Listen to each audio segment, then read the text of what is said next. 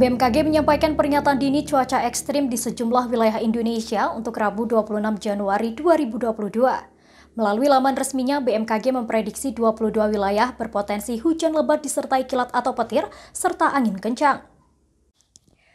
Badan Meteorologi, Klimatologi, dan Geofisika atau BMKG menyampaikan peringatan dini untuk cuaca ekstrim di sejumlah wilayah Indonesia Rabu 24 Januari 2022.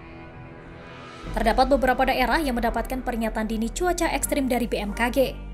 Wilayah yang berpotensi hujan lebat yang dapat disertai kilat atau petir dan angin kencang adalah Aceh, Sumatera Barat, Bengkulu, Jambi, Sumatera Selatan, Lampung, Banten, Jawa Tengah, Yogyakarta, Jawa Timur, Bali, Nusa Tenggara Barat, Nusa Tenggara Timur.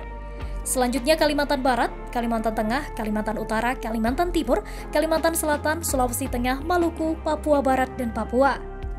Kemudian wilayah yang berpotensi hujan yang dapat disertai kilat atau petir dan angin kencang adalah Jawa Barat, DKI Jakarta, dan Sulawesi Selatan. Melalui laman resminya, BMKG memprediksi 22 wilayah berpotensi hujan lebat disertai kilat atau petir serta angin kencang. Sementara tiga wilayah diprediksi berpotensi hujan yang dapat disertai kilat atau petir dan juga angin kencang. BMKG menginformasikan terdapat bibit siklon tropis 91W yang terpantau dari sekitar Filipina bagian selatan. Kondisi inilah yang membentuk daerah pertemuan atau perlambatan kecepatan angin atau konvergensi yang memanjang di Laut Sulawesi bagian utara hingga Filipina bagian selatan.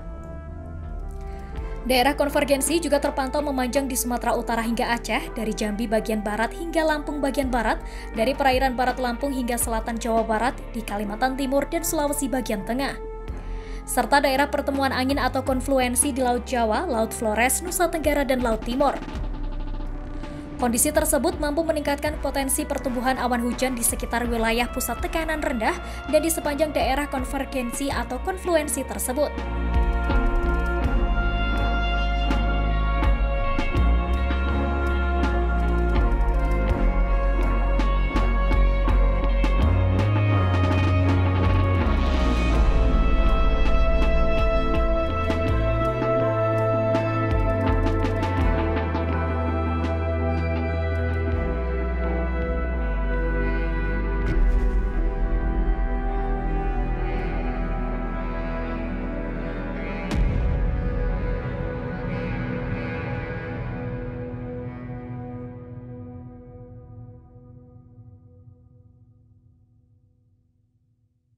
Demikian informasi dari Tribun Jateng Update. Saksikan terus Tribun Jateng Update hanya di channel YouTube Tribun Jateng. Ikuti update terbaru dari sosial media Tribun Jateng.